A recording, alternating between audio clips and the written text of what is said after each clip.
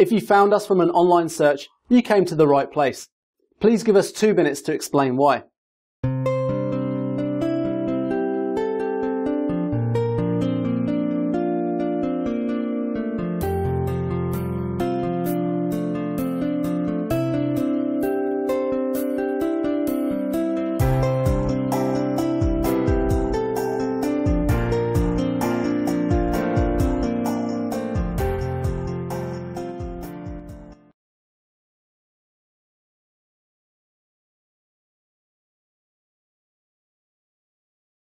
For more information, please click the link below or give us a call.